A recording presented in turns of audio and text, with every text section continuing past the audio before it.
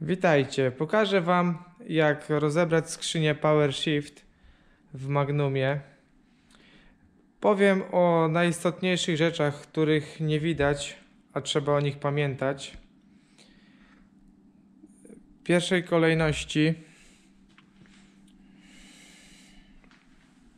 musimy wiedzieć o tym, że by odkręcić filtr sący yy, oleju, po to, aby dojść przez ten otwór do rurek, do trzech rurek. Są to rurki sprzęgieł nis niskiego, średniego i wysokiego zakresu, które się znajdują w tej drugiej części skrzyni biegów. Musimy je odkręcić, bo gdy ich nie odkręcimy, nie uda nam się rozpołowić tego.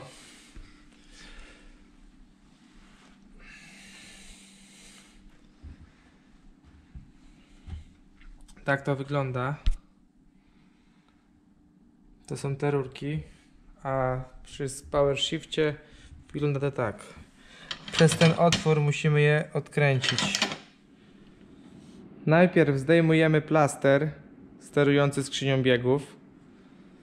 Aby zdjąć plaster należy odkręcić pokrywę zaślepiającą, cztery śruby. Następnie korki zaślepiające, dwa, raz, dwa. Pod tą pokrywą i pod tymi korkami znajdują się śruby imbusowe, które należy odkręcić. Tutaj jest jedna śruba. Następnie tutaj mamy drugą śrubę. Tam jest trzecia. I tu u góry jest czwarta śruba. Tylko, że te śruby są za tarczą. Należy tak ustawić tarczę zmiany biegów, żeby był otwór i można było wykręcić śrubę. Tak jak tutaj widać na imbusa jest otwór i trafiłem, że w tarczy jest otwór i widać łepek śruby. Tak samo na dole jest tak samo otwór w tarczy i musimy trafić tak, żeby otwór był nad łebkiem śruby, wtedy będziemy mogli ją wykręcić. O, teraz jest widoczna główka śruby. I możemy teraz to powykręcać.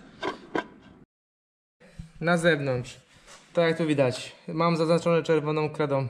Raz, dwa, trzy, cztery, pięć, sześć, siedem, osiem, dziewięć, dziesięć, jedenaście, dwanaście, trzynaście, czternaście, piętnaście, szesnaście śrub. Pozostałe zostają po to, żeby ten plaster nam się nie rozszedł w innym miejscu. Wtedy uda nam się zdjąć cały plaster. Nie rozejdzie nam się on wtedy nam w tym miejscu, tylko ani w tym, tylko się rozejdzie tutaj.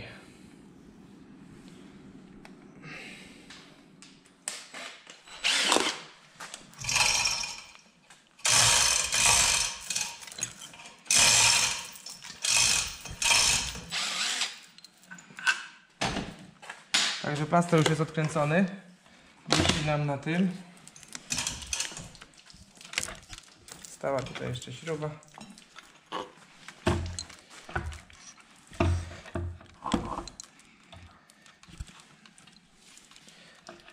Jeszcze ta jedna trzyma, czekaj, opuścimy ją. Dobra. O.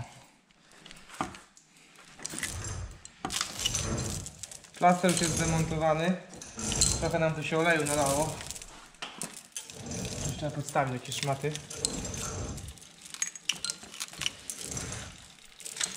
Tak to wygląda po zdjęciu. Tak widać plaster nam się odkleił tutaj w tym miejscu, tylko będziemy musieli wymienić jedną uszczelkę. Ona będzie nowa.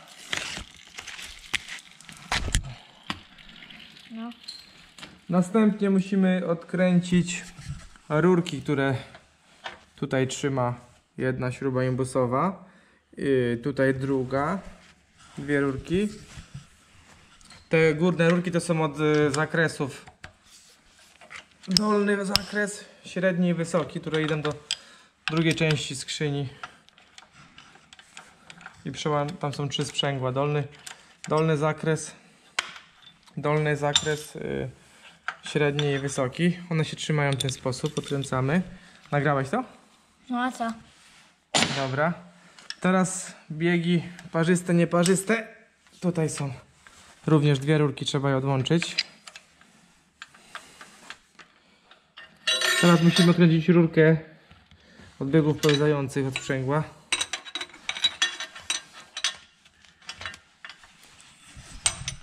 Osiemnastka, kluczyk.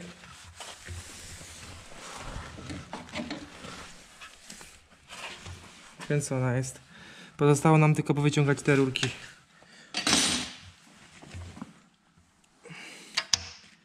Jeden wyszła.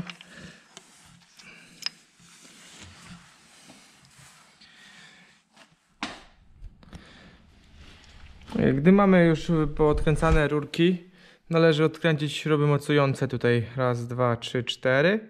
I tu jedną na imbusa, wtedy ten druga część plastra nam odejdzie. Także działam dalej. E, Tak to wygląda po zdjęciu pokrywy. E, Dlaczego jest ważne, żeby zdjąć rozdzielacz? Dlatego, że tutaj w obudowę e, w obudowę wchodzą rurki zasilające i musimy je wyjąć. Jeżeli byśmy nie wyjęli tych rurek, to nie moglibyśmy odjechać obudową od korpusu skrzyni. To są rurki biegów parzystych, nieparzystych, reduktora. Tamte trzy rurki, co leżą, to są rurki od y, tych trzech zakresów, co idą do drugiej części skrzyni biegów. Tak to wygląda. Tutaj od, co odkręcałem te śruby, co trzymają trzy rurki zakresów. Tutaj są y, śruby od parzystych, nieparzystych. Też jest ten uchwyt na przykręcony śrubą na imbusa. Gdy mamy już zdjęty rozdzielacz sterujący skrzynią biegów, następnie musimy odkręcić pokrywę skrzyni biegów. Ściągamy wałek z tuleją, odkręcamy rurkę, wyciągamy ten wałek. Ten wałek jest zabezpieczony tutaj, pamiętać trzeba, że trzeba segera zdjąć, będzie, bo nam nie, nie przejdzie. Yy, Gdy już to mamy zrobione, odkręcamy wszystkie śruby na obwodzie skrzyni, zostawiając sobie dwie śruby naprzeciw siebie, poluźnione. Yy, następnie przygotować musimy sobie kołki.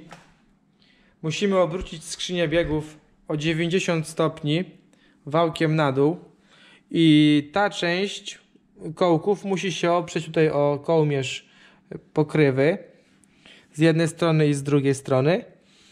Odkręcamy następnie śruby, y, te, które były popuszczone, dwie zostały. No i unosimy skrzynię biegów, a wałki z pokrywą zostają na kołkach. Jest to bardzo bezpieczny sposób na rozebranie, wtedy mamy pewność, że się nic nam nie uszkodzi. Dobra, podnoś Karol. Powolutku. Czekaj.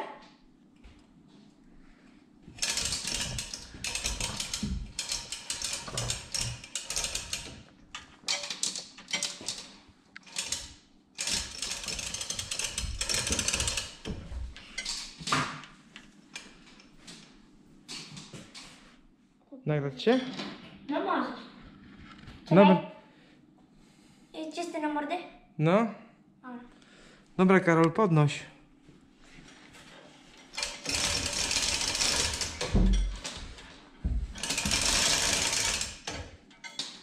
Dawaj, dawaj. To trochę jest.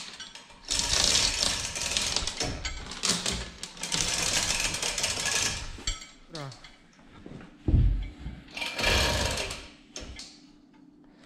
Góra, góra, Karol. Dawaj, jeszcze kawałek.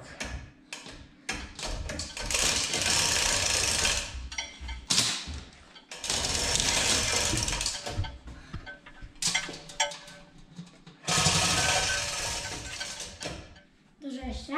No jeszcze z 30 centymetrów. Już jest nasza, już żeśmy... Dawaj, jeszcze, jeszcze, żeby odjechać na bok. Jak to by teraz spadł, to już tak wkurzył. Jeszcze raz to byś jak podnoś. Już, nie? Dawaj, dawaj. Już. Jeszcze kawa. Dobra, odje odjedziemy na bok teraz z tym. Uważaj. By nie uderzyło, bo się przewróci. Masz kamerę, ja to zrobię.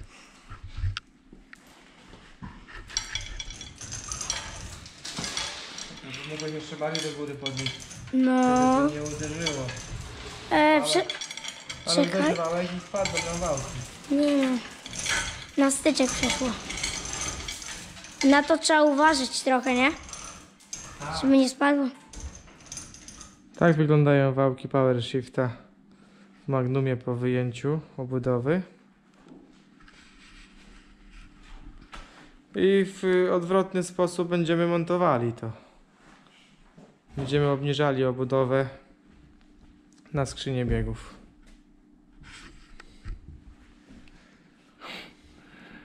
Tak wygląda obudowa.